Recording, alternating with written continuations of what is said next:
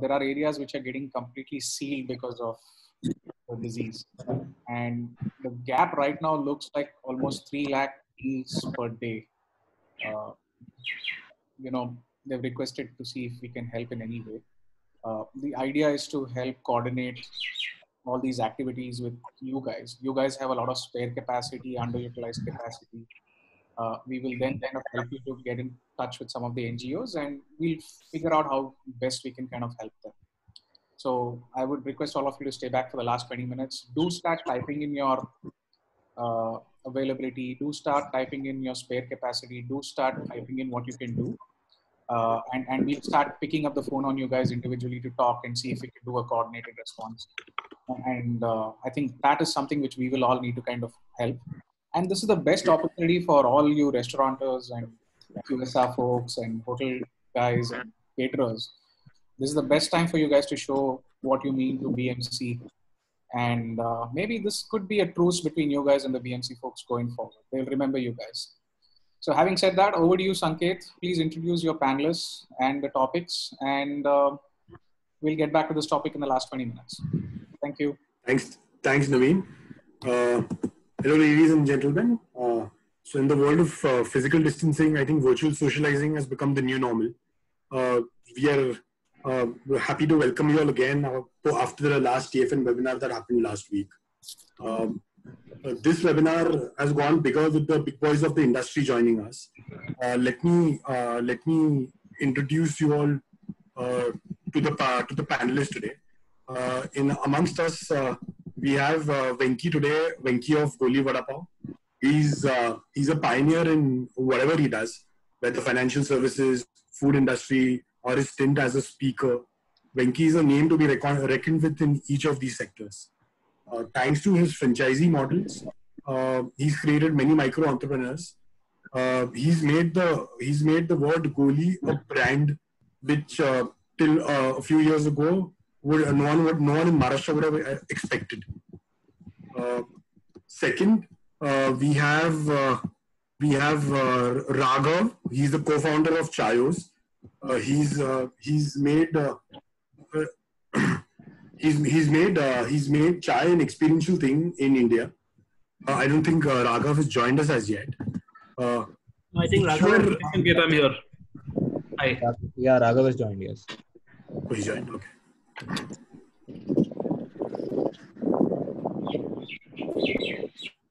We also have with us uh, Eshwar. He's the he's the co-founder of Mukunda Foods. Uh, he's the man behind automating uh, automating the kitchens in the food industry.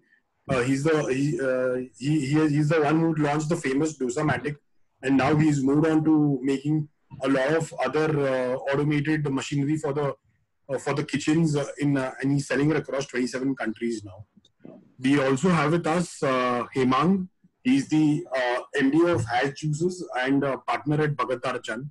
Bhagat Tarachand, as you all know, has legendary thalis and chaats and uh, HAS Juice has become a famous fresh, fresh juice brand across uh, Bombay and Gujarat. Uh, I would uh, now I'll, I'll I'll put this open to the speakers. Uh, Venki, I would uh, want to uh, begin with you. Uh, hello, yeah, Venki, are you there? yeah.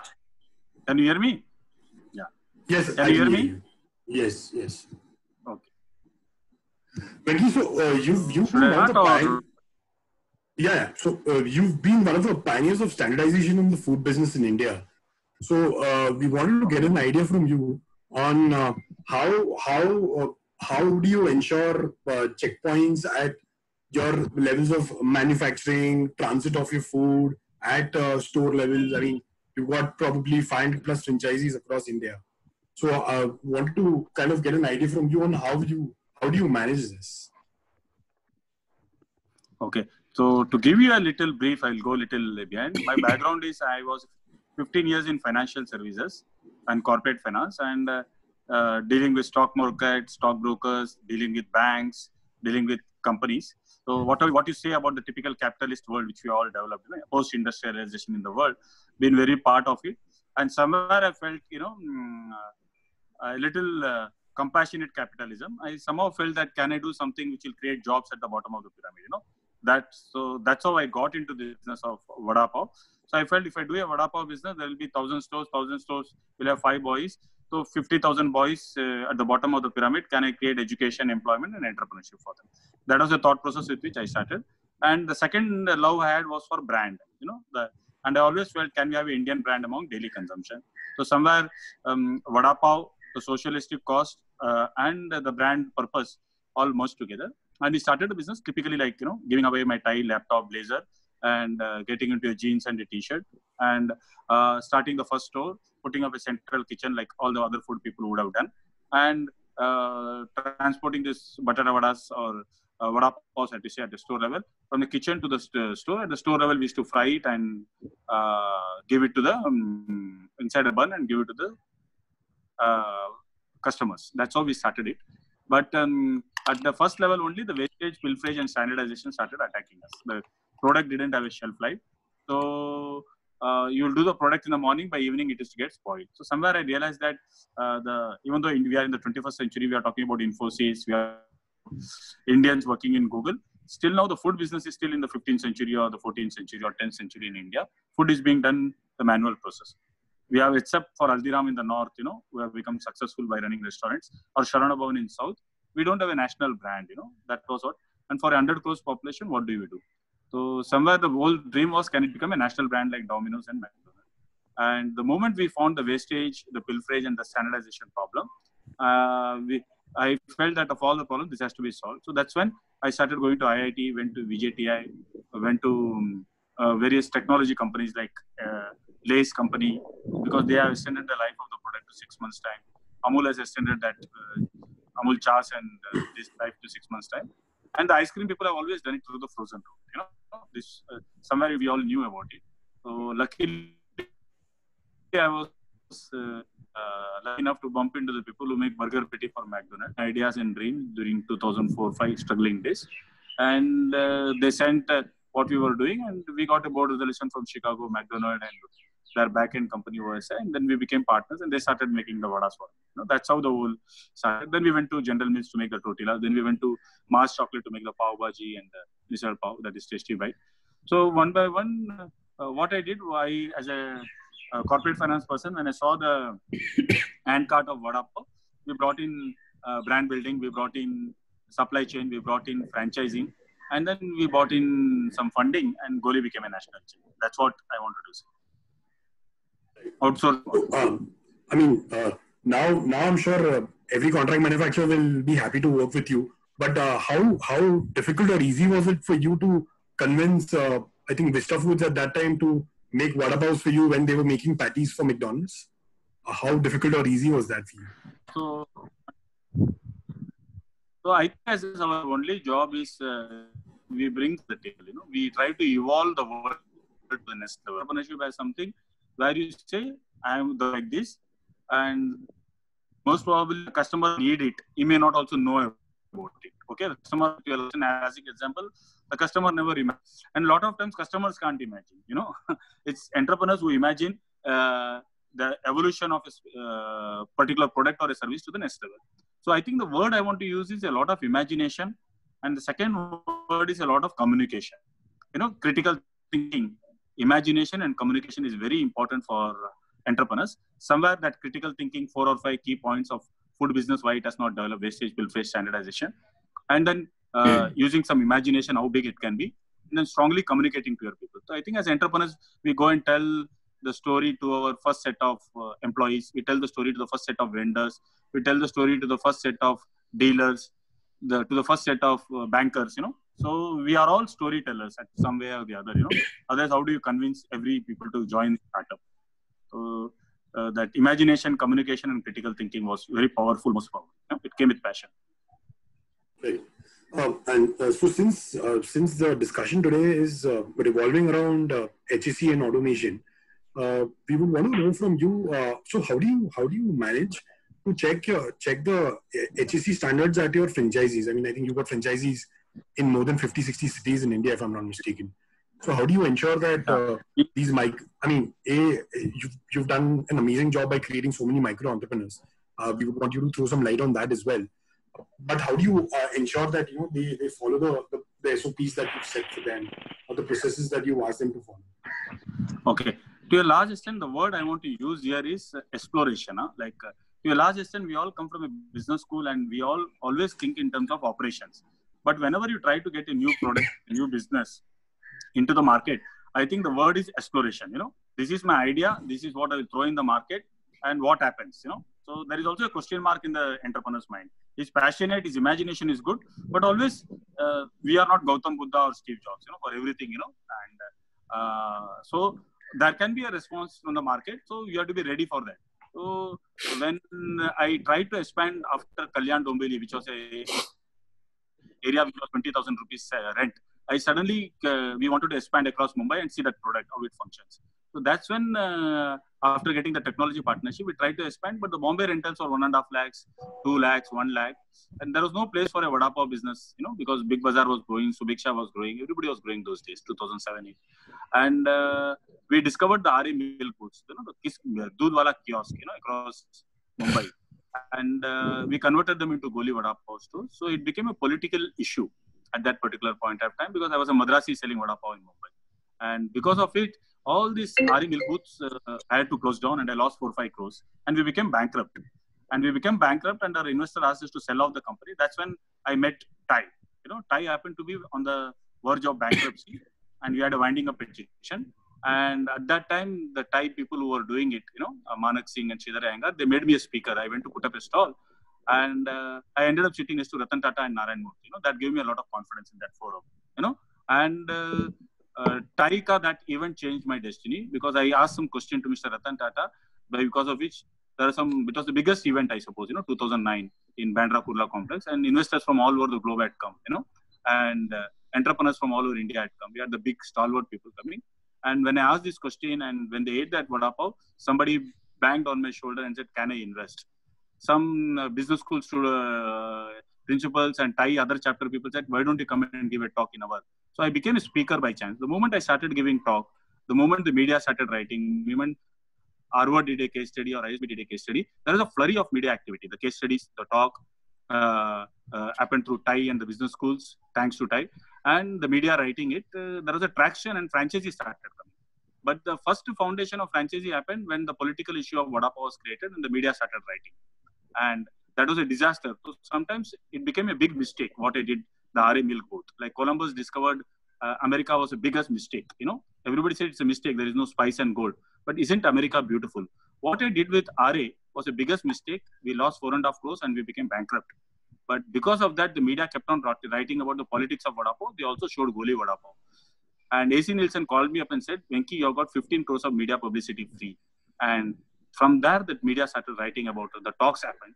And franchises came to us in droves across India. We would have received some 8,000, 10,000 franchisee inquiries. But it happened. It happened by, you know, I wouldn't say strategy. A lot of this Harvard Business School and MBA is strategy? I say it was a destiny, exploration and destiny. So sometimes takdir ajmana padta. Wow. I mean, so so I think I think that that saying that uh, you know behind every overnight success there is like uh, 10 years of failure is is is I think what you yeah. uh, proved by whatever you just mentioned. Yeah, even before finding Vista, I went to 100 uh, IIT, IIM, IIT people. I went to various companies, failed many times. I lost two, three crores in finding technology for Vada. And then on the verge of when the banker told me Band Kardo, that's when I found back the Mac, McDonald people. So in our case, it has been exploration mistake. 100 failures and one success, you know. But that one success was like 300 franchises or 500 franchises across India. No, that's how. Right. Uh, so since you've uh, so since you've spent almost two decades in the industry now, uh, it would be uh, interesting to know your take on uh, the future consumer behaviors you think post COVID. So this lockdown will end sooner than later. Uh, what do you think? How do you think is it going to impact the consumer behavior? And uh, what food trends do you think are going to accelerate, and what food trends do you think are going to perish eventually? So the first thing is that even in the last 15 years of Goli Vada Pav business, I went through three bankruptcy, but every time the faith was on the consumer. Frankly speaking, there is a consumer who is going to buy vada pav. कुछ भी हो जाए investor level, कुछ भी हो जाए political uh, you know, uh, organization level. There was a consumer who was eating vada pav. You know, so I always felt like vada pav was like Amitabh Bachchan. It will run on its own. And But this is the first time I am experiencing where stores are closed down for 15 days, 20 days. There is no cash coming in. Every day there used to be 10 lakh, 8 lakh, 12 lakh cash coming into the business. And because of that cash, I could handle any adverse situation. Are you with me? So cash is powerful. Consumer business is powerful.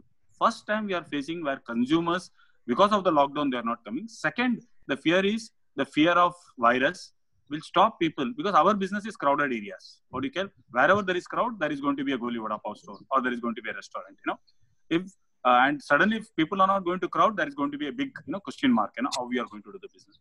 Second, we say 30, 40 business anyway has become aggregator business. You know, so consumers will order. But the fear of the consumer is the virus. Road में कोई बना रहा है तो germs होगा क्या you know bhelpuri वाला पानी पूरी वाला you know any anybody who's cooking on the road so the first fear factor is to go unhygienic food consumers will stop avoiding, according to my fear. You know, and in cases in our case, we are already 90% of the product is done in a fully automatic plant with where no human hand is touched, fully sealed, you know, and it reaches the store. Whether it may be the vada, whether it may be the sauces, whether it may be the tortilla, whether it may be the fries, you know, everything is done on a fully automatic plant.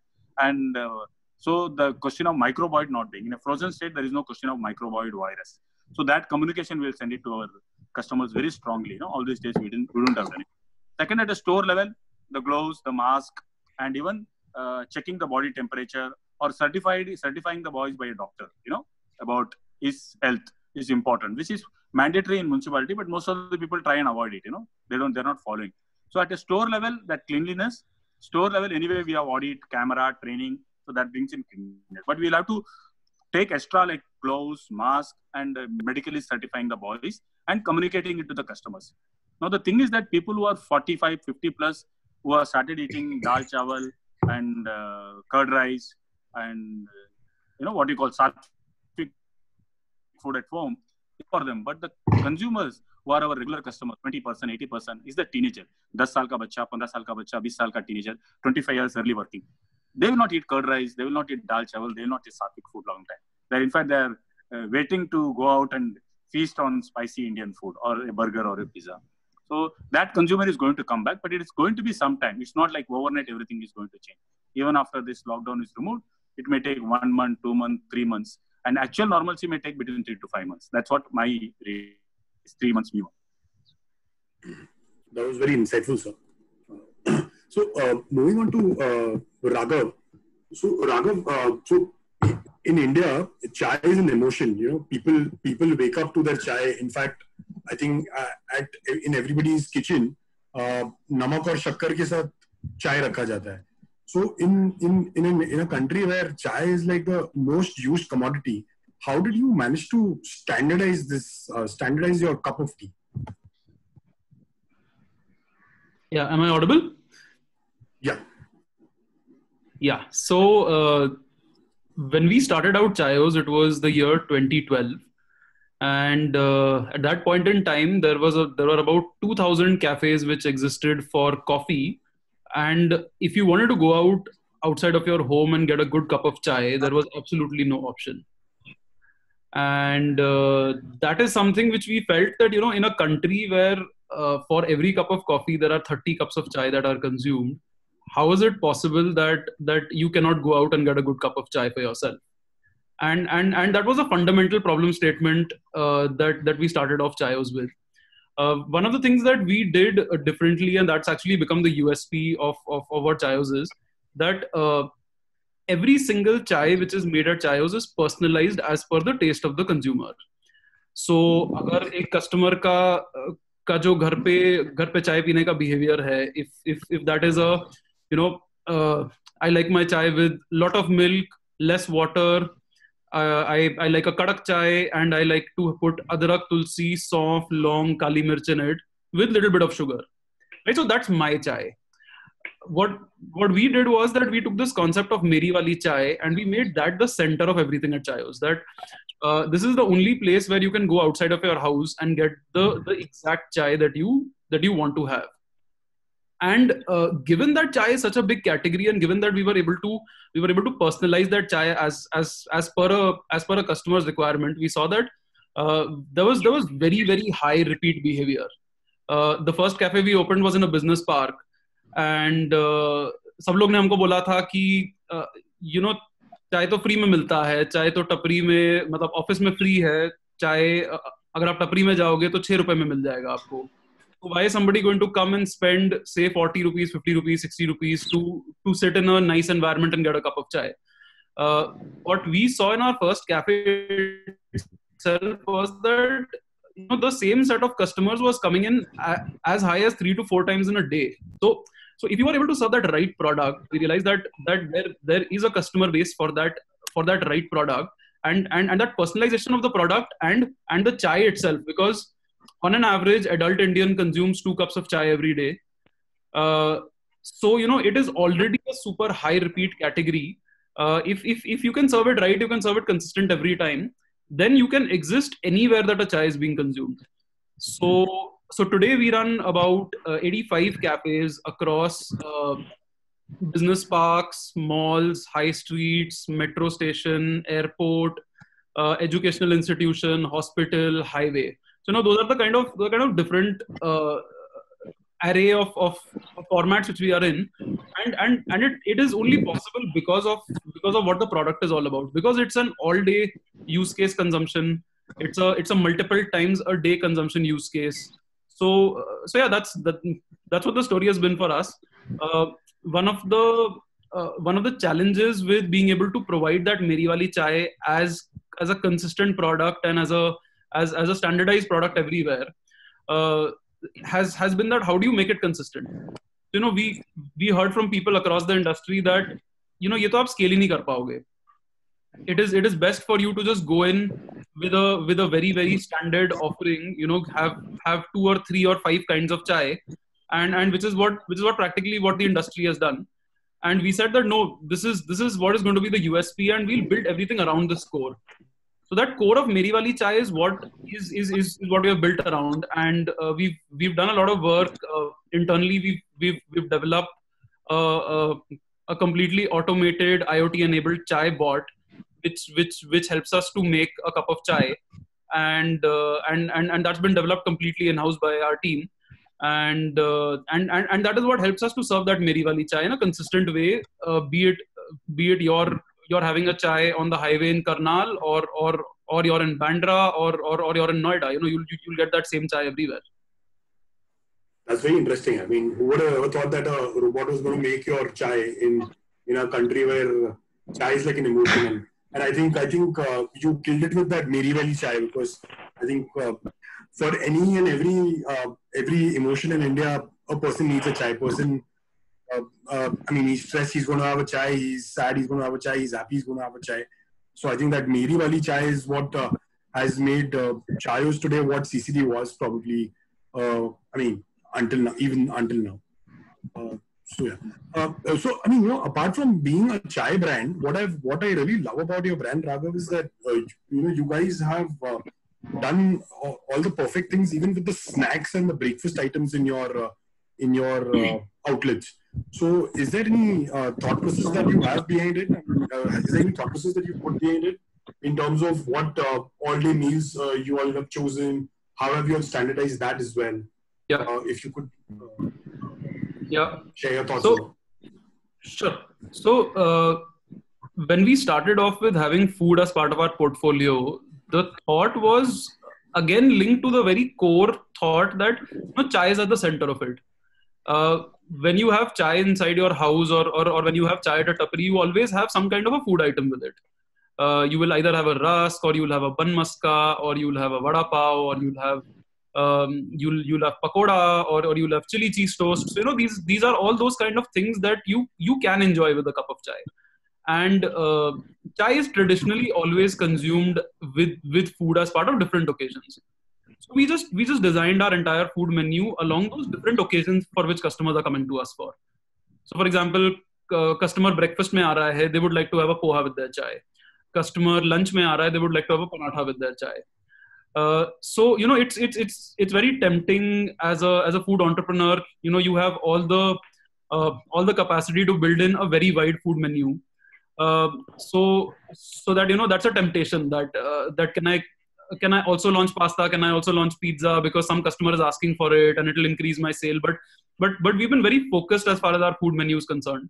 So only things that go very very sharply with with a cup of chai, only those are part of our menu.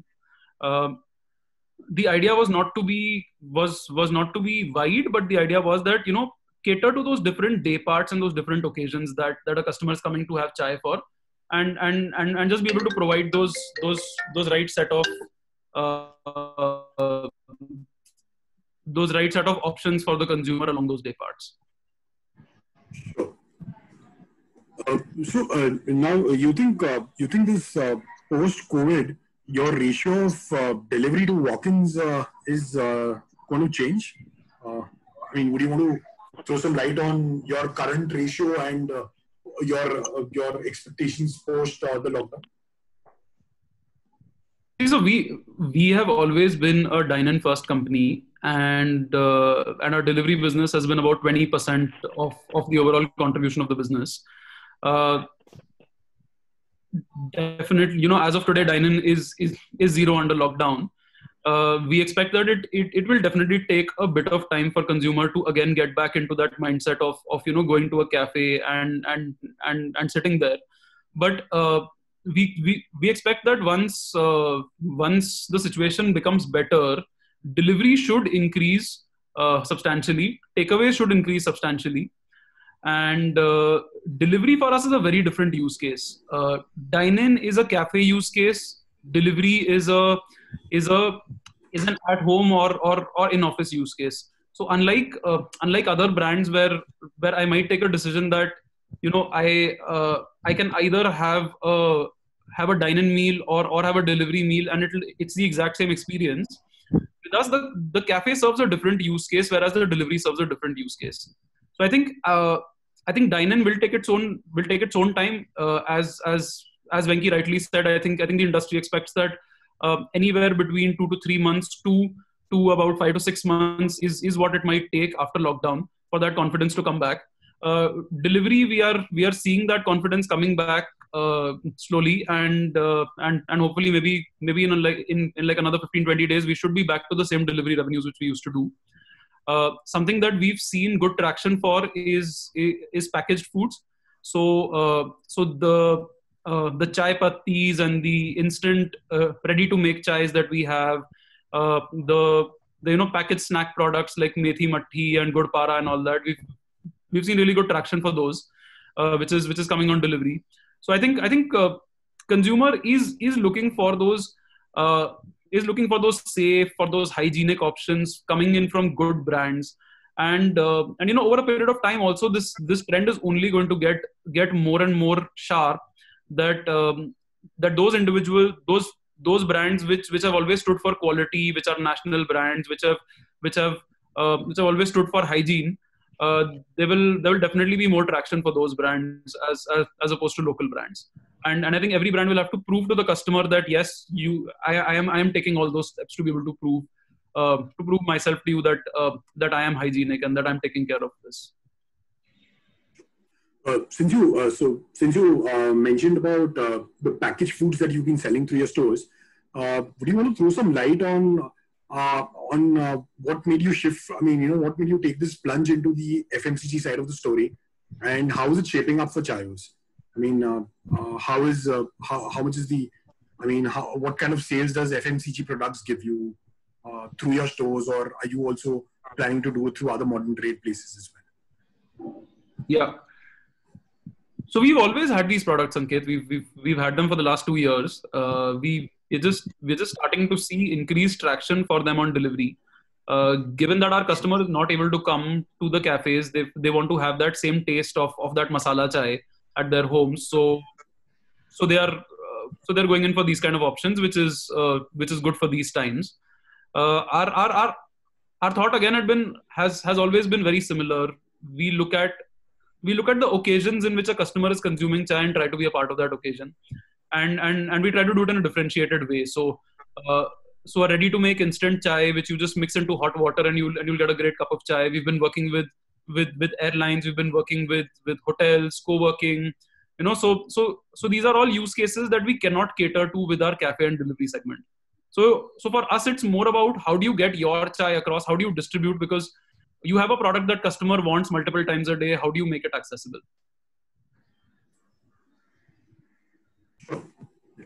So uh, I think I think as an organized food brand, uh, you guys maintain the best of hygiene standards and safety standards. Uh, now post uh, post COVID, uh, how how do you think it's going to shape up for the uh, unorganized food service industry, or maybe you know uh, outlets which are single stores or maybe less than five stores? Uh, how, how do you think uh, they will be able to catch up with uh, chains like yours or Winkies or Bhagat Bharat?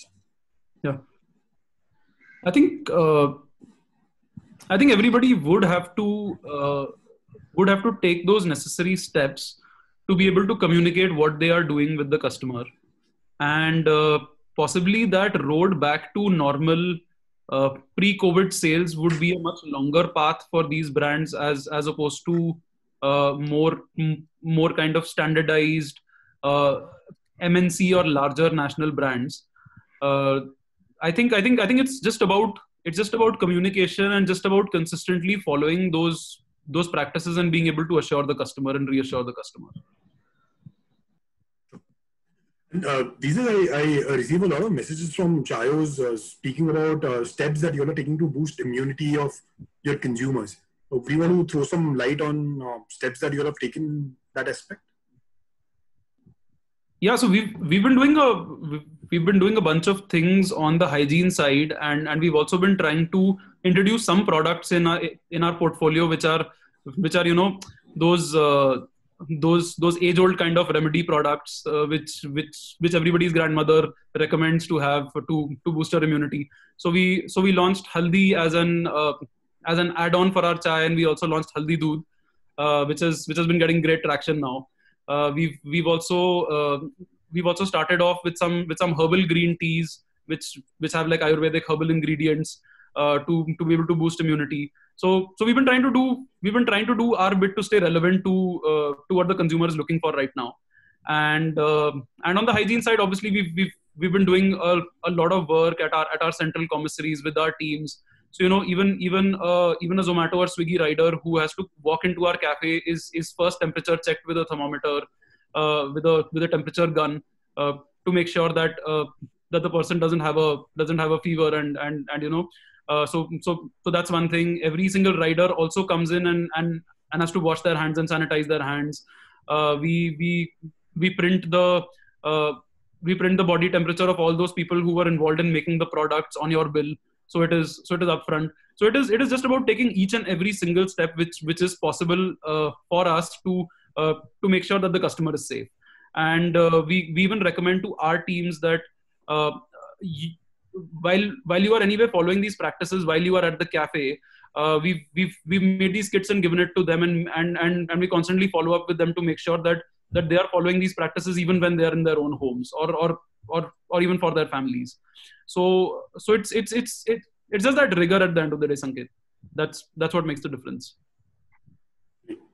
Thanks, Raghav. Well, that was really insightful. Uh, uh, so, uh, moving on to uh, Eshwar. Uh, Eshwar, hi. Uh, are you there? Yeah, hi. Hi, Yeah. So, Eshwar, uh, uh, I want to ask you how difficult was it for you to break through break through the clients in India when you started? Uh, because I mean, uh, I think you know, like seven eight years ago, uh, to believe that people will accept automation in the kitchen, uh, in the traditional kitchens in India, was uh, was a very far fetched uh, dream. So, would you want to throw some light on that? Uh, sorry, Sanjay, last 30 seconds I couldn't hear you. Uh, can you hear me now? Yeah, yeah, better? yeah. Right. So um, basically, so when you started your company, Mukunda Foods, uh, I think uh, automating the kitchens in India, the traditional kitchens in India, was a very far-fetched dream. So how how difficult was it for you to break through the clients uh, when you started Mukunda Foods? And how's the journey been? I mean, now how how how much more receptive have the clients become now? Right. If you could, We, uh, um, see, we we have great brands today with Chaayos, Goli Vada Pav, and others today. Um, but the biggest problems have been always there in the food industry, right? You have uh, it's very difficult to get the good people come and cook for you. Retaining skill is difficult. Finding skill is very difficult. Um, you have issues with very thin margins. You know, the industry has a lot of issues, and um, you know, automation somehow can solve the problem but the biggest problem when it comes to for, for, for a restaurant owner for an outlet person to make sure that automation is really solving for him is the taste of the food. You know, you can build one of the best machines the whole world has ever seen, but agar aapka khana that is coming out from the machine is not as good as you were making it before, it doesn't make sense. It's absolutely you're like, why would you buy a machine? I think that is something which we had to solve for first before we could really go ahead and pitch the product to the customers. So getting the food right, get ensuring that you know you might get the most expensive machine in the world, but if it doesn't make good food and if you're selling that food for whatever cost, people will not come back to you. So that was something that was very challenging, and that was something which we had to solve for first by getting the taste of the food, right? Be it a dosa or any other product which we have made till now. The taste is something which is very dear to us, and which we ensure that you know that needs to be really taken care. And once that was taken care, uh, you know they say the way to a client's heart to his stomach you know we made sure that all our clients tasted the food. They came and ate the ate the food from the machine. And once that happened uh, i think then the ice started really breaking. They said hey the food is good. And uh, you know you have seen these experiences in various industries if you see 100 years back the way manufacturing was done where uh, you had uh, manual tools and you had the skill of a lathe person or a skill of a welder that was required to make the product come out is very different from the way it is being done today. You buy a bike from a hero plant in manesar or somebody from surat the bike is the same. But that's not really with food today where the food is really different from every place you have uh, unless and until like raghav said he's using automation which they have built for their uh, outlets where the chai in karnal or even the indiranagar which they recently opened up the chai is fantastic. If you want to achieve that at scale automation is required. And when you get the taste right rest all falls in. And that's how we started and uh, you know we are able to crack that problem. And once that's done you know brands are coming back and you know a lot of outlets are coming back and taking up the products. Sure but uh, uh, how many uh, just to understand so you know i can understand bigger brands uh, you know adapting to automation. Uh, in uh, with your experience how many uh, smaller outlets have you seen adapting to automation? And uh, are are indians really willing to pay a price for automation or uh, they are still you know kind of uh, bent towards using cheaper labor as as is perceived in india? Let's see um, kitchen automation in india is not mainstream yet you know first of all the stores and food brands need to be technologically aspirational and you know they need to be open for this innovation uh, but that's really changing. Uh, but the bigger problem here is when you look at automation, you need to have your objectives very clear. Are you doing automation for uh, reducing your cost? Are you doing automation to reduce labor? Are you doing automation for increasing standardization? At what level you want to do that? And once you are clear about what you want to do, okay, I want to do automation because I want to grow very fast. I want to open 500 outlets in the next six months. Or is it because you want to increase your EBITDA? You want to uh, reduce your dependence on skilled labor. Once you're clear on that, and that's when the path, that's when as a brand you start walking towards automation. And once you're clear with that, uh, you need to invest your time and resources with us. And it needs a commitment from, we put a commitment from our end also, wherein we put in the time and resources. And once these two come in place, that's when we decide how the business sense comes out. If it makes business sense, you are investing, even you invest 100 rupees, it's not about the cost, right? It's about getting the uh, ROI in place. It's a 100 rupee or a 1000 rupee or a lakh rupee once you know what you're aspiring to do and once you're able to see a clear path that you know by doing this this automation by partnering uh, with a company like us or anybody for uh, uh, putting up through this new innovation if you have your roi metrics very clear in my head key you know what i'll invest 1 lakh rupees but if i'm able to open the outlets twice faster i get 10 lakh rupees. So my roi is faster. Once you're able to see that roi is there once you're able to see that uh, that thing is that the, the, um, um, the aspiration for you for the reason of automation is there that's when we are seeing brands really um, put together come together and do and we're actively working with large brands and co-developing uh, smart innovative kitchen equipment because in a sense they have this figured out. They know their they they know their pain points. They know their growth paths. They know why they're investing this money and they know why what this will get them to. And once this three criteria is satisfied once they have that they're very clear in their head you know doing this we are going to get to this level then the adaptation level becomes um, uh, you know really fast. When it comes to standalones and outlets we have uh, some specific products for them. Like we have a smart induction, we have a smart fryer, uh, we have some specific uh, products for standalone outlets as well as brands who are really aspiring. Where we are seeing a fast uptake, especially in the recent uh, two to three years, where the demand is really outpacing the supply. Today, Indian India is more of a uh, demand is there. It's a supply constraint to get very good food, to get very good beverages, to get at the quality and price you're looking. Though the demand is very high because of the digital disruption that has happened, it is very difficult for brands to come out. And once brands are seeing that you know automation is really solving that, that's when the adaptation level has really increased, even at the standalone outlets and other layers. So I think, I think uh, your company has done an amazing job with the with the dosa.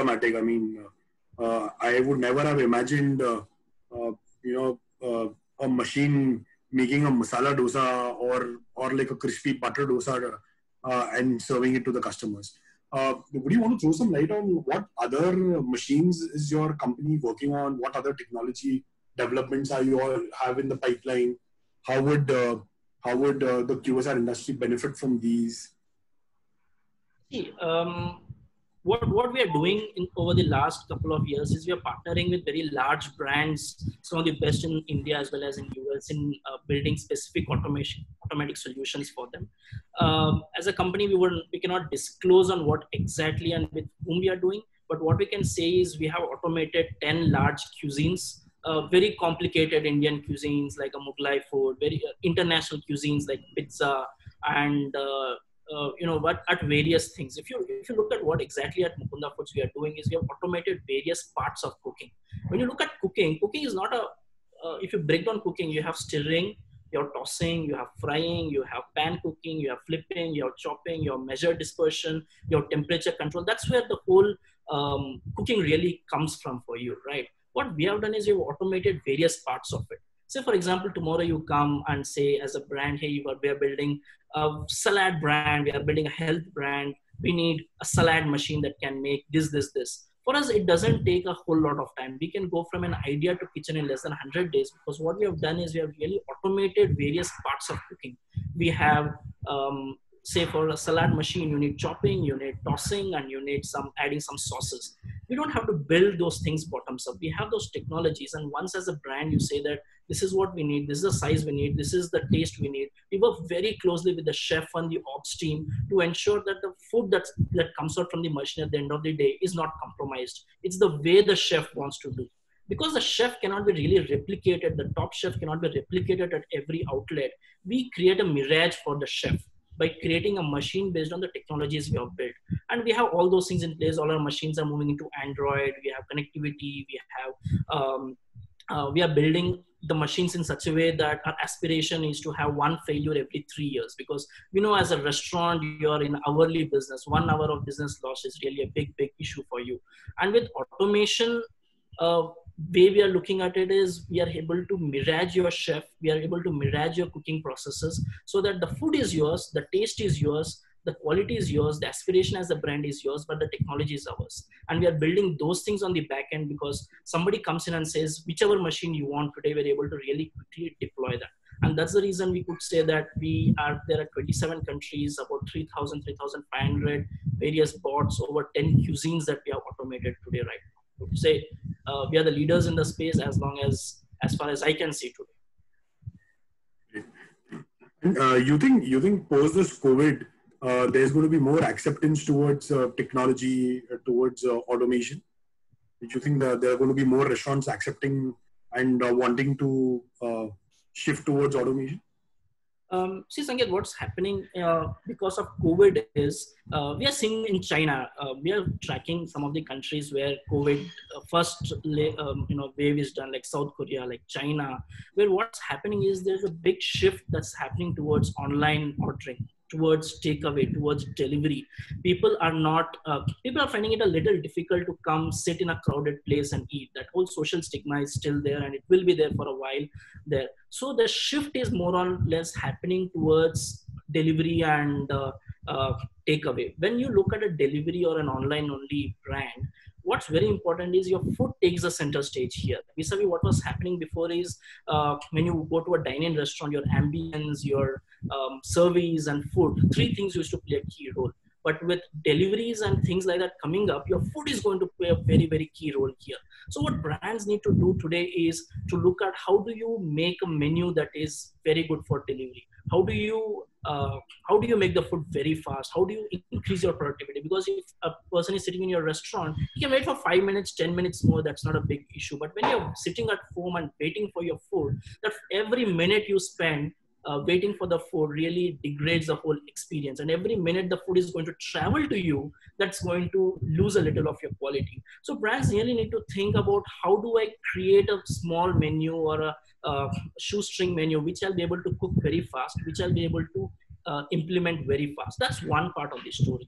But more importantly, is the technologies which we feel are going to take center stage is today people are scared, you know, like uh, Venkatesh was saying, what, how is he making my burger? How is he making my noodles? So how, if we can bring in technology like live streaming from the kitchen, what's happening in the kitchen if we're able to show, we're able to show that how cleaning is very core to you how if you are able to show that your pre and post cooking processes are also state of the art to bring in that trust in the customers uh, fingers like what raghav said is doing with chaayos is printing the temperature of everybody who is there in his outlet on his uh, receipt which is very clear right i don't mind ordering on chaayos yeah. because i see that temperature sure you you think in the years to come uh, you will see uh, homes also adapting to technology in India? Uh, you think you think we are heading towards that? Ghar Khana is always, you know, very good. You know, in fact, there's a huge shift where people are starting to cook from scratch, um, and that will happen. And you, after this COVID, I think home eating, where cooking from scratch would increase globally. And I think technologies like meal kits, uh, business models like theirs will become very efficient and uh, you know people would not mind walking up to a self-serve kiosk getting some stuff coming back home and cooking you know that's where we might be moving towards. And home automation is little away because um, at 50 60000 rupees if i give you a bot that makes just say uh, rotis it's very expensive right? People might not be really willing to buy because you get a house made at uh, barely uh, at, a, at, a, better uh, uh, price point. So home automation is a little away, I would say. And uh, because the technology and the price point is near, is really not there yet today. Sure. Uh, thanks, Eshwar, for your insights. Uh, moving to uh, Hem- uh, Hemang, are you there?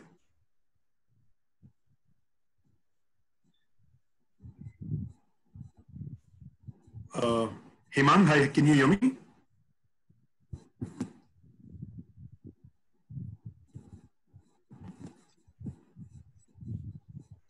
Hemang is on the line actually. He's there, is it? Yeah, I can hear you, Sanket. Yeah. yeah okay. Uh, Hemang, hi. Uh, hi. So, uh, uh, okay. Uh, so, uh, uh, Hemang, I think, had uh, joined late. So, Hemang uh, is a partner at uh, Bhagat Tarachand, and he's also the MD of HAS Juices. So, Hemang, I want to understand from you. So, you know, your your brands serve some legendary thalis they serve some of the best chaat in Bombay. Uh, your fresh juices are uh, are some of the best in in the malls they've served in. So I want to understand from you uh, how are you going to keep the customer perception intact with the uh, with the whole kind of urban street food and the fresh juice and the chaat that you serve post this uh, COVID. So I think the mall is going to take a little time, and it is going to be the last thing that you know government uh, give uh, clearance to start the mall. That's what I feel. Uh, in terms of uh, you know delivery, uh, most of the brands are going to focus on delivery, and even the consumer demand is also going to be high on delivery. Uh, more important, when I think myself as a consumer, I think what will I do first thing once all the you know things gonna be clear. Then I have my list of eating you know list of place where I wanted to eat. Now I have uh, you know I will uh, I have suppressed my feeling for last maybe two months or something. Then I'm sure that once everything is done, I wanted to you know fulfill my crave. So if your food is good, people are, you know, they're loyal customers. They are gonna bound to come maybe 10, 20 days here and there, but uh, attraction is going to come back. You think uh, you think uh, the trends in dining dining in are going to change after this COVID? Uh, you think they will evol- evolve in some ways? So uh, I think so. Customers are going to see the measures that any restaurants or any theater or any mall is taking. So you know, of course, temperature uh, ke, you know there are measures whatever that one can take. Uh, uh, people will appreciate that and they will dine it. It's not that they're not gonna dine it. Uh, because you know we Indians are more social animals. We cannot stay you know for a longer period staying at home and eating food because we don't eat food uh, you know because it's not like uh, US and UK where we don't make food and that's why we have to eat food. We eat food outside because we relish the you know taste and people and we are of course you know very finicky about temperatures also. So I think so. The once everything is uh, little streamlined, people start coming and they will see the measures those restaurants are taking it.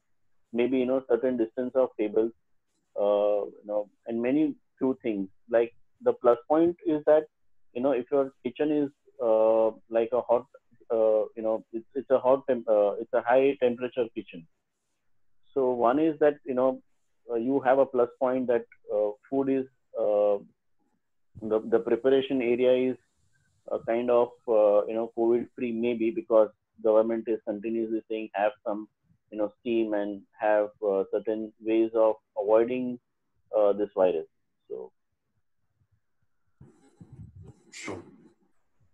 Uh, So your your your kind of business involves a lot of uh, cooking at the level of central kitchen at and in-store cooking on a daily basis. I mean, there's a lot of fresh food that's cooked on a daily basis. So how do you ensure uh, the SOPs and the hygiene and safety levels are uh, maintained at all the levels? You know, right from central kitchen to uh, transiting it to your stores and within the store itself. so uh, you know it's not that you know now we have to rethink about the hygiene because we have taken you know we've been practiced since very very long about the you know the cleanliness the hygiene the touch uh, the bacteria uh, many things that we should take care of uh, you know stuff. Also we prepare fresh food because we do not retain food for more than five to six hours. So every six hours the batch is new uh, the gravy is new. And uh, so we we are not using uh, the food with uh, cold uh, and you know again reheat the stuff. That's the kind of a policy we don't adopt but we we look more for a fresh and i think so uh, seeing the kind of uh, the measures that uh, you know everybody is focusing on you know have fresh food. So i think so people will uh, we have to educate people that what kind of a practice that we do. In fact if we can make some video and we can put up in uh, restaurant that is also a nicer way to communicate to a customer Yeah, I think that would be quite necessary to, uh, I think, uh, retain customer trust in the brands. yeah yeah yeah And um, uh, you think you think uh, brands like yours, uh, you know, which are like very traditional brands, uh, will now uh, look to incorporating automation and standardization in your processes post this COVID? I mean, are you are, are Yeah. your brands going to be open to that? So I think so. You know, we look at it like a, you know, like a phone is a hardware, and you know, your recipe is your intelligence, which is your, you know, uh, which is gonna stay for a long. And you, we, of course, we would like to. We we are upgrading many stuff uh, from uh, what it was and what it is, and further that we're gonna be improvise. Uh, though our certain food is more about you know uh, handcrafted stuff, so we are looking for more automations and I think so. I'll I'll contact Eshwar that you know how he can help me also.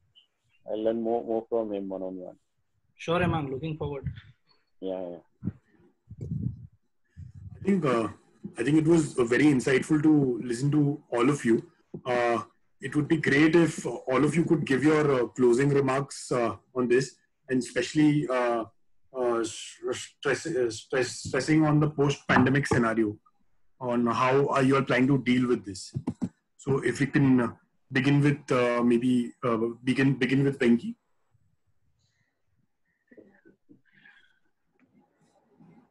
Venki, you're on mute actually. You'll have to. Venki, I think you're on mute. Can you hear me now? Yes.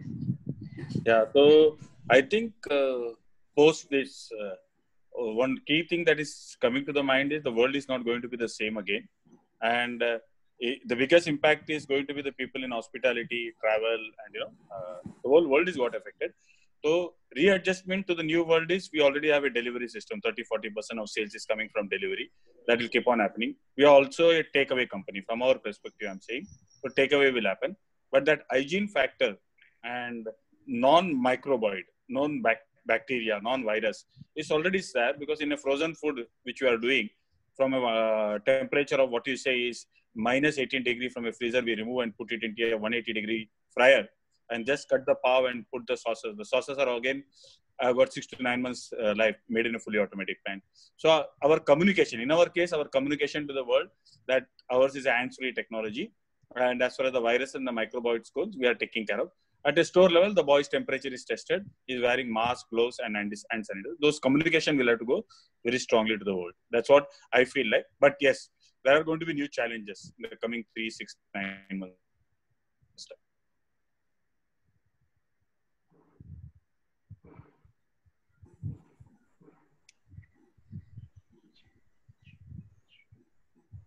Hello. Uh, I think Venki, we lost you in the last sentence. Hello. Yes, Venki, go ahead. So did you miss something, or it was? Uh, I think I think we uh, your your last sentence was inaudible. I think your network had gone off. yeah. So what we are saying, we are getting ready for it because there are the plus point. We can fabricate things. So the plus point is ours is a frozen product. From frozen, we move into a 180 degree temperature fryer. So b- bear again, you know, the temperatures. So microbiome multiplication is not much possible in our kind of food because it's all factory made and it comes in hands-free environment. At a store level, we have to take care of the hygiene of the boys, the hand gloves, uh, the temperature, and those kind of things. And this has to be communicated to the customer. That's what I I, I feel like uh, telling. And uh, the most thing is that the next three or six months or nine months is going to be challenges for the restaurant business, especially you know the retail business. It's going to be a challenge. Thanks, Venki. Uh, Raghav, could you give your closing comments, please? Yeah, so I think I think completely agree with what Venki said. It's a it's a it's a very challenging time, and it's it's it's not just about uh, about the health situation or or or about the hygiene bit. It is going to be a it is going to take some time for consumer demand as a whole to come back. So you know, it's a it's an it's an unprecedented situation. It's an unprecedented event. Uh, we've, we've we've we've we've not seen any anything so big in a in a in, in a long time now at a at a global level. Uh, it's it's it's just important for for the entire industry to just hang in there. You know, their uh, things things will get back to normal, but but but they will take their own will take their own time.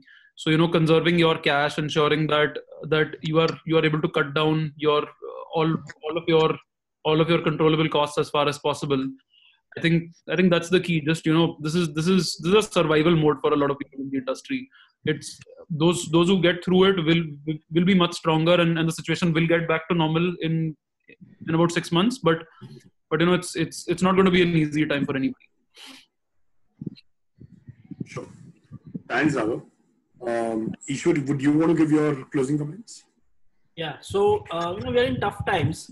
I would like to quote Darwin here, Charles Darwin. He said, Those who survive are not the strongest or the most intelligent, but those who survive and thrive are the most adaptable to the change. So today we are facing, I think, the toughest times around here. And uh, there is no playbook. Nobody has written that Corona के time पे क्या it is about being adaptable to being saying that what the situation is based on that as a brand. How do you want to perform? And some of the best brands in the world were born out of uh, you know tough times. You know, Sony just came in after World War II. Airbnb was born just after the economic downturn, and you know all the top uh, dot com burst paypal came out. You know a lot of companies came out through tough times. And you know hospitality food and somebody like us in the industry these are the toughest times. But it also gives you sense today to think back and look at your business at a 10000 foot level rather than firefighting. Uh, you know, day in and day out as food entrepreneurs, you're the toughest amongst the lot. You know, huge respect for all of you out there on what kind of work you're all doing. Uh, use this, I think, using this time to get a little deeper and see what different can be done, but also being adaptable to deliveries and you know whatever the industry throws. There's no playbook out there. I think uh, that would be my closing remark, and I'm sure health and hygiene and everything would play very very important from uh, you know from what was already there standards are higher. I think that was a very profound and uh, positive thought to end with. Uh, Hemang, uh, would you want to give your closing comments?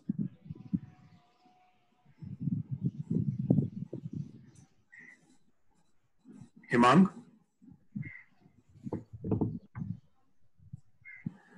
Okay, uh, I think I think we've lost Hemang. Uh, so before I jump to uh, questions from, oh, is Hemang there? No, I, He's there. There's some problem with his internet. I think. Right. Okay, I think I think there's a network issue at Hemang's end. can you hear me So now? before I, yeah, I think we can hear you now, Hemang. Yeah, go ahead.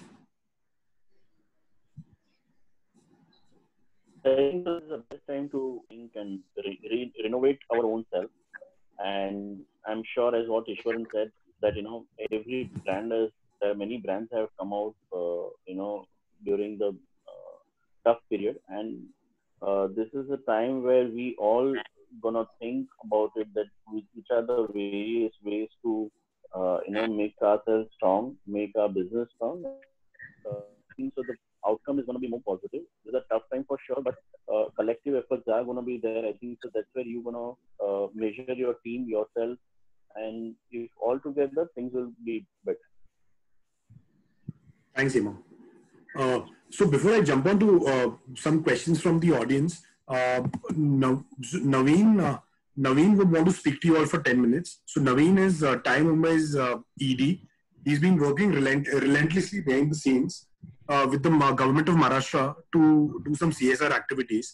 And I think uh, uh, he's, he's uh, trying to create a win-win-win situation for the restaurant industry as well as, uh, uh, as, as well as providing meals to uh, some of the uh, daily wage laborers and the health workers.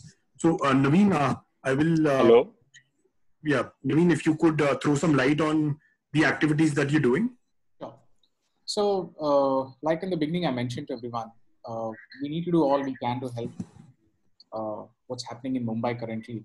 And what the government foresees is from the 15th of, uh, if the lockdown continues post the 15th for another 30 days, the the kind of energy that the NGOs have put in,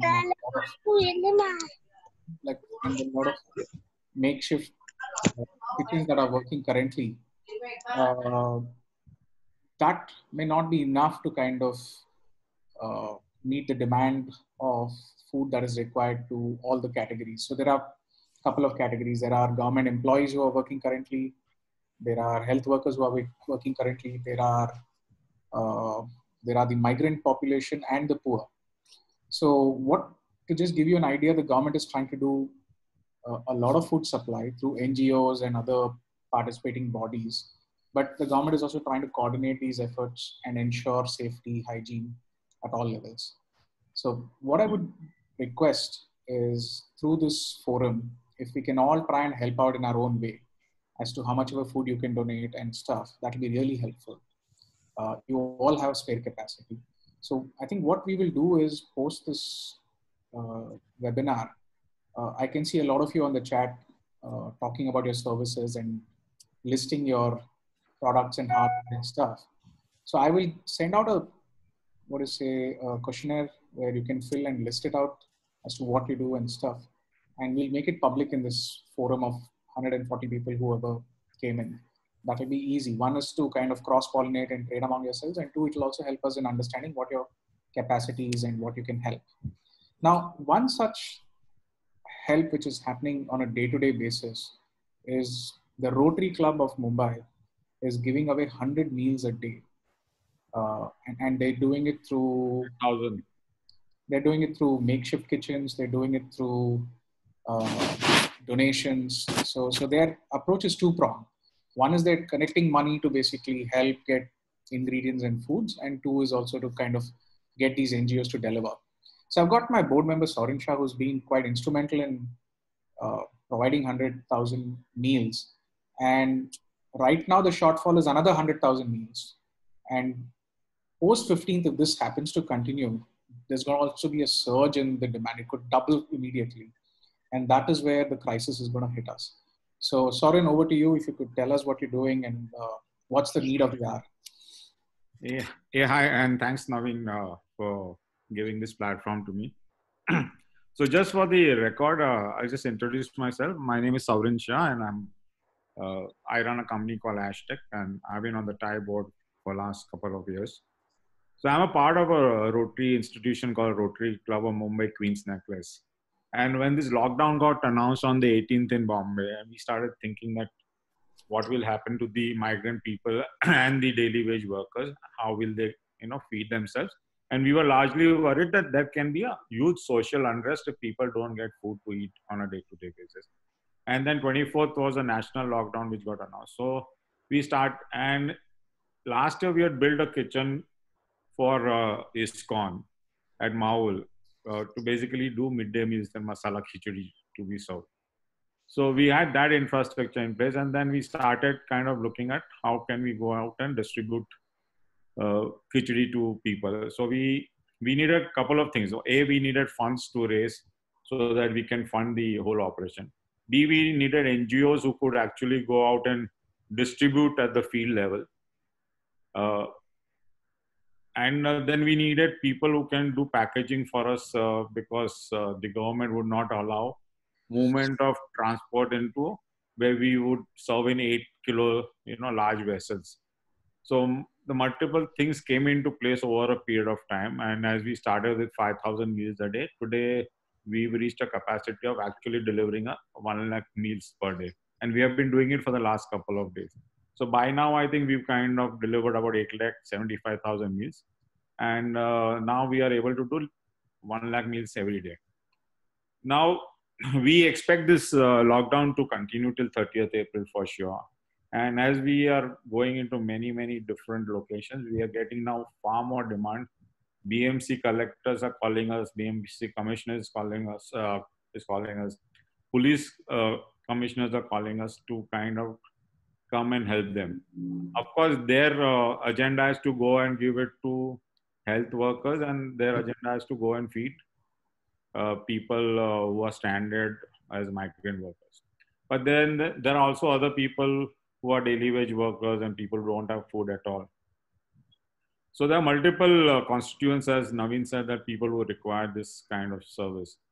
Uh, currently, we've already raised three crores. We are in the process of raising another two crores to kind of see if we can meet the demand till 30th of April. We have three ISKCON kitchens just now. Foodlink uh, makes some 20,000 meals for us. Uh, Blue Seas has now said that they can make 20,000 meals for us. Uh, but Foodlink and Blue Seas is something which we have to pay. They are subsidizing a little bit, but we still have to pay 20, 21 rupees per khichdi meal. Uh, ISKCON our cost is 27 rupees but reliance is for now giving us grains. And uh, so we are able to subsidize that cost to some extent. And then taj kitchen till date used to give us 20000 meals per day to free to be distributed. So this is what we've been doing just now and this is what we've achieved. Uh, however we are looking out for a couple of uh, i think still uh, what do we say support from uh, people in Bombay. Uh, if we can get some kitchens who can manufacture 20,000 meals, as long as Reliance gives us grains, we can provide grains to them. Uh, but if the rest can be made good by some uh, kitchen, we are looking for people who are packaging industry where we can get some aluminum packaging so we can package those foods and give to people and we are looking in for funds. Uh, so these are the three areas which we need support, and we can increase our capacity uh, more if required. And the need is enormous. So even if we are doing 200,000 meals, there are takers out there. So yes, guys, this is my request and my and this is what we have been doing just now. Okay, Saurin, thank you. So what I would request all the entrepreneurs is one is let's try and see how we can coordinate uh, your spare capacity with that combined with what you can donate as food and for how long. And let's give a inventory to Saurin and the government. See, the government also needs a backup plan of if people can start producing food in huge numbers. So what I would suggest is uh, post this session today uh, I'll send out a survey, I'll send out a questionnaire. Please, all of you, fill your details with what you can do. And uh, me and my team, along with Sanket and a few more people, will start getting onto calls with you guys and talking to you, and we'll try and coordinate this effort. Uh, we'll just coordinate. We are not the ones who are actually doing anything. The government and folks like Saurin are the ones who are really doing things. So, so use this as a nodal point to pass through with your supplies and food and anything. Uh, also, I'd like to thank uh, Venki. I think Venki just committed 25,000 uh, Goli Vada Pavs for the government this morning. So thanks again, Venki, for that. Uh, we'll need more though. So get ready to talk to your board and get more release soon. We can't hear you, Venki. You're on mute. Wait, hello, can you hear me now? Yeah, now we can hear you. Uh, we'll go into a conversation after this. I know I heard about it from this guy also, uh, Sanket also. Uh, post this, we'll go into a conversation. We are doing something, which Mm. is uh, the first thing that we are trying to do is uh, feed the hungry. Yeah. And the second, we are saying donate a vada pav. Mm. Third, we are saying identifying a community in Bangalore, in UP. We are uh, we are less stores in Mumbai, more across India. You know, we have some hardly ten stores in Navi Mumbai and Mumbai two stores, but most of our stores are in UP, in uh, what you call uh, Bangalore, in uh, Punjab, in Rajasthan, and all. So the thing is, uh, I what I would say for try to help us is uh, the entire food industry or or the country is like I've seen K Ganesh doing it in Bangalore. You know, feed Bangalore, and you know he's got that infrastructure, he's got that kind of funds. You know, to do that entire thing. I saw again a kitchen company, Compass, and Swiggy doing it in Delhi. You know, they have done something like um, 50,000 meals or something. Ganesh is talking about 15,000 meals per day, you know. So, but what I felt was that most of the people are doing what is the meals part. From my side, I can say is that uh, I can give the lowest common common denominator, that 20 rupees vada pav, you know, what he call says uh, snacking category for the uh, uh, the people don't feel hungry time and dinner time. Sham ko book lagta hai but I felt that as end time donation and all is possible. But as entrepreneurs, what will happen is um, uh, uh, if we can create a forum and we say feed the hungry platter Bombay or, or in UP or in Delhi, you know, he's got a larger forum, and then donate. What is that? Donate. First, it's donatable, and then our spare capacity kitchens are there anyway. So we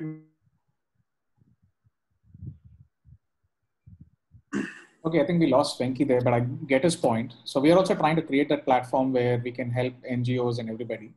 So uh, to question of Rajesh, yes, this is not just to the speakers that I'm talking about. I'm going to be sending out the questionnaire to all the 140, 50 people who have uh, registered and come on the what is say webinar today. So it's it's it's going to be more an ecosystem driven thing rather than just a few people. So I'll be sending it to everybody and. Uh, let's see how much we can help Saurin. There are other people who are also doing that. So depending on what you can help, we will kind of guide you to the right people so that you can send it to them and it goes directly to the needy people. So that was the humanitarian side that we want to do. I think Sanket, back to you. I think there are a lot of interesting questions that uh, people have been asking on the chat to all your uh, what is say panelists. So I think uh, take on the, their questions and uh, over to you now. Yeah. Thanks, Nami. Um, sir, I think I think all of us are really proud of you for whatever you've been doing till date, and I think the whole uh, restaurant industry is uh, willing to stand behind you to support you in whatever ways we can.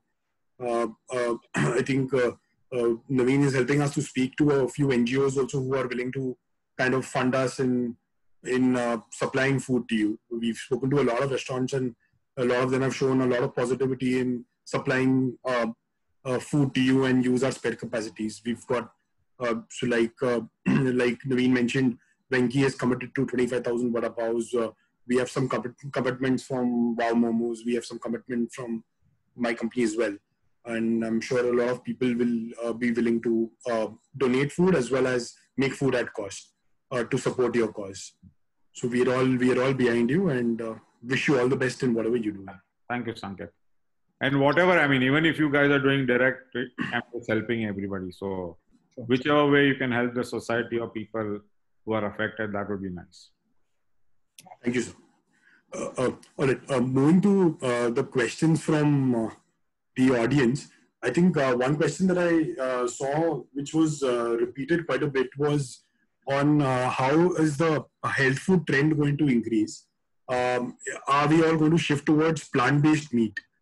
Uh, ideally, I would have uh, liked uh, Venki to take this question uh, since uh, he and I were discussing this yesterday, but I think we've lost Venki. Uh, uh, uh, Eshwar, would you want to take this question up?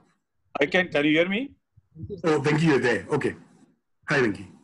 So one is that uh, thing about health food. Yes, definitely.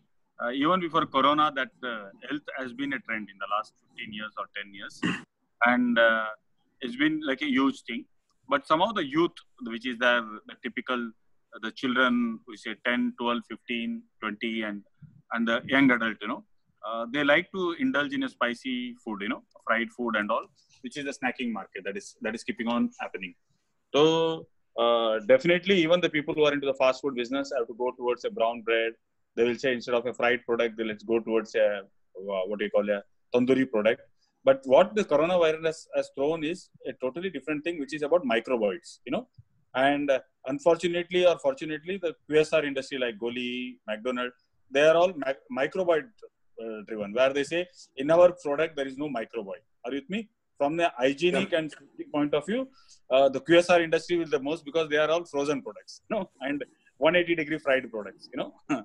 so from a microbiome point of view, it's uh, post corona, it's going to be the QSR which is going to come and say that boss, we are safe from a microbiome point of view, you know, at a manufacturing level, at a delivery distribution level, and at a fried and eating level. So that's what I feel like. As far as the plant-based thing goes, it's already happening in the US, you know, where Burger King has opted, even McDonald's opted for meat. But I don't know how much time is it going to take before it reaches the masses. But uh, it's already started in California. Burger King has already announced. McDonald's has already announced that in the US, where they are talking about a plant-based food uh, meat. It's started happening. So I don't know when it is going to come to India and all. That I am not very sure. Just to I think there are there are a few companies doing plant-based meat uh, in India already. I mean, yeah, of course, but it's, it's going to be a while before it picks up in India. Yeah. Um, I think other set of questions that I've I've uh, seen which have really frequented are are about um, uh, putting um, intelligent cameras in kitchens and uh, making it uh, you know making it uh, live to the uh, public. Uh, Eshwar, you think you think that would be a smart idea to do? I I saw some companies like I think someone from Wobot posting that they have some smart cameras which uh, which they can provide to the QSR industry. see, uh, every restaurant has their guarded recipe, right? So um, some of them might not be very comfortable in showcasing what their recipe and what's happening. But uh, showcasing live cooking is very important, you know, when it comes to an Indian food uh, segment, you know, which is also very difficult. If I'm seeing the way my food is being, a very famous example in Bangalore, I can use is called uh, Taaza Thindi, you know, uh, some of you might have heard of. Uh, they're doing fantastic work where you see what's being cooked. Uh, something I think that is experimental, and we should we could really try how that is done. Because uh, if I'm seeing that my food is being cooked in a particular way by sort of safeguarding the recipe, but still showing on a top top down level through some metrics on you know how food is being done, which you know, some kind of a uh, you know, parallel to it, but not showing the recipe as such would be very interesting. Sure.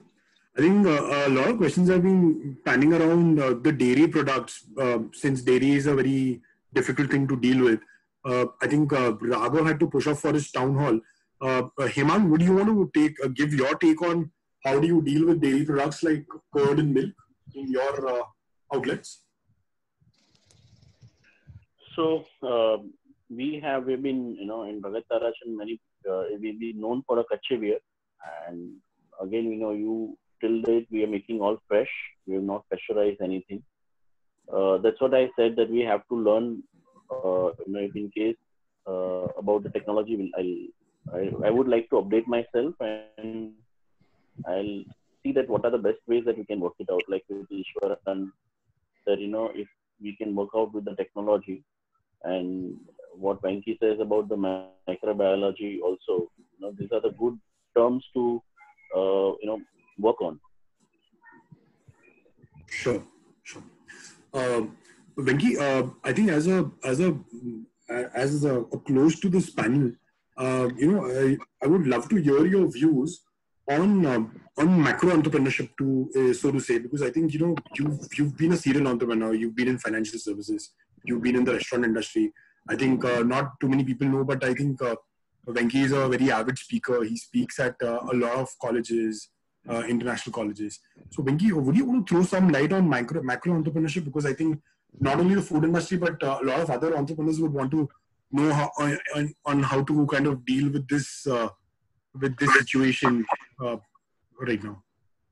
See, good, uh, Sanket, you asked me this question. So, I've been, uh, one is the Goli Vada Pav talks more than 300 talks. The other part has been, you know, where most of the business schools across, you know, in Europe and others also, where the talk is beyond uh, Pav, where it's about evolution, entrepreneurship and all. So I think as entrepreneurs, uh, today we have the, more than 150 people here, 100 people, Sanket?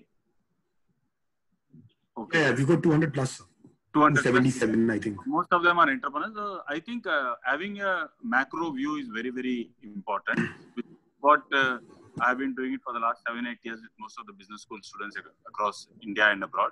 Uh, one is I feel people should understand that you know we all come to this planet, we eat, we sleep, we procreate, and we can't take anything back. You know, only thing that we can do is that contribute to this planet. That's what we call evolution. You know, so I normally see it in four stages. You know, we had a hunter age whereas human beings or hominids or homo sapiens whatever we call it you know uh, uh, there was a tiger there was a lion there were elephants and we were the most weakest in the on this planet you know and somehow uh, man or, uh, or our great great grandfathers have survived it you know so we played with tools we survived the jungle thing from hunter age uh, we moved to the farmer age where we went into agriculture we formed societies you know so the moment the uh, farmer age came, it was a different kind of skill set. We created agriculture, we created surplus, we created uh, villages, towns, cities, you know, and all.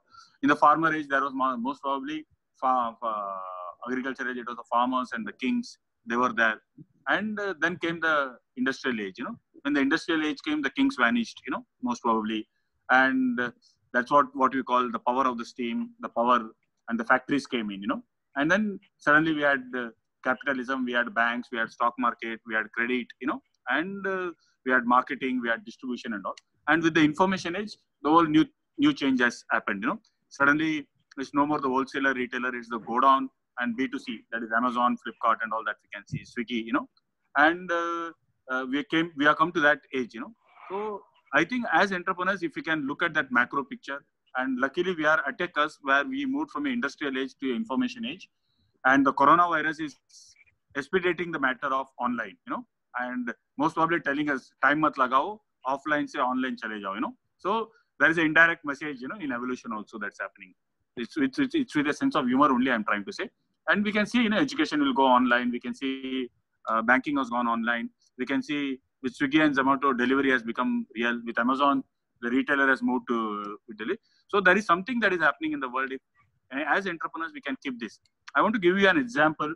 Uh, in 1970s or 80s, as uh, people migrated to cities, you know, in a much larger fashion in India, the housewives stopped making the masalas, and that's how Everest masala at home, Everest masala, or what all the masala people across the globe, you know, uh, India that we have, and suddenly it found a solution, and today it's I think uh, between Everest Masala and other Everest would be 1500 crores. Some other people are at 2500 crores. It's a 10,000 crore masala market, you know, that got created not by big corporate, but traditional Gujarati, Marwadi, or what you call family-run business who saw that opportunity and it filled in the need. 1990, 2000, the woman has started working, the kitchen has thinking, and suddenly we saw the restaurant business boom. You know, it's come like a very big way opening for a restaurant. You know, and they are still trying to organize uh, themselves. So something like that will throw up. You know, in the thing. So my takeoff was this: uh, I have a macro picture about how things are changing around the world and how new opportunities are going to come. That's my only conclusion in five minutes. I wanted to make. Thanks. That's that's amazing to hear from you. There's there's some really profound thoughts. So I think uh, so I think I think like after after every bad time there is an opportunity for uh, for entrepreneurs to spring up. Uh, like the famous Ayrton Senna had said that you know it's difficult to raise 15 cards in, in a sunny weather, but it's it's easy to do it in in rainy in the rainy season. So I think it's it's for entrepreneurs to take a cue from that and uh, and uh, not give up and you know stay there. I'm sure there's there's uh, post uh, post COVID there are going to be a lot of opportunities for us in the food industry and for other entrepreneurs as well. I would really like to thank all the speakers who took out time and gave us their insights into the industry. Um, uh, and thank you, thank you, TiE Mumbai, for allowing us to uh, kind of you know uh, speak uh, uh, speak about it and and and get the food industry together. for for people whose questions have not been answered, please please send us a mail and you know we will take this offline and we'll ensure that your I mean the speakers reply to you offline. Thank you so much, Naveen. Would you want to take over?